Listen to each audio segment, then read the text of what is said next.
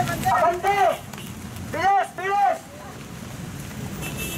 Never again! Never again! Never again to martial law! Never again! Never again! Never again to martial law! Idotanado ka ng pasistang rehimen! Sigilan! Sigilan! Pagbayarin! Sigilan! Sigilan! Pagbayarin!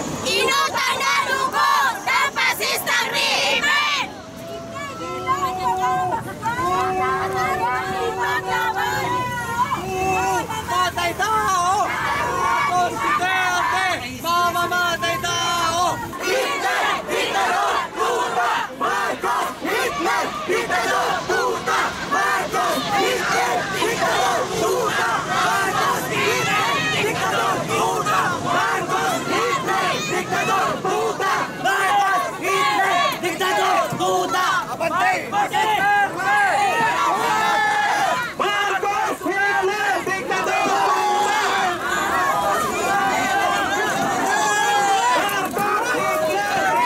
Ginagawa nilang kapitapitagan ang diktador na si Marcos.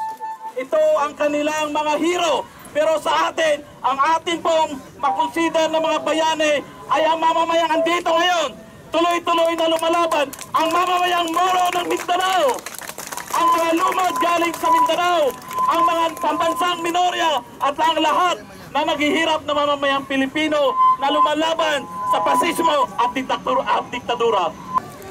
Mr. Duterte, we are telling you, doblihin mo man ang ginawa ni Marcos, titriplihin, magiging makasampu ang pagsisikap na natin sa bayanan upang itaguyod ang demokrasya, ang katotohanan, ang katarungan.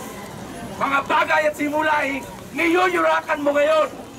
You have unfolded completely. At inilantad mo na ang iyong sarili. Wala kang ipinag-iba kay Marcos na isang Hitler, isang diktador, isang tuta ng imperialismong Amerikano.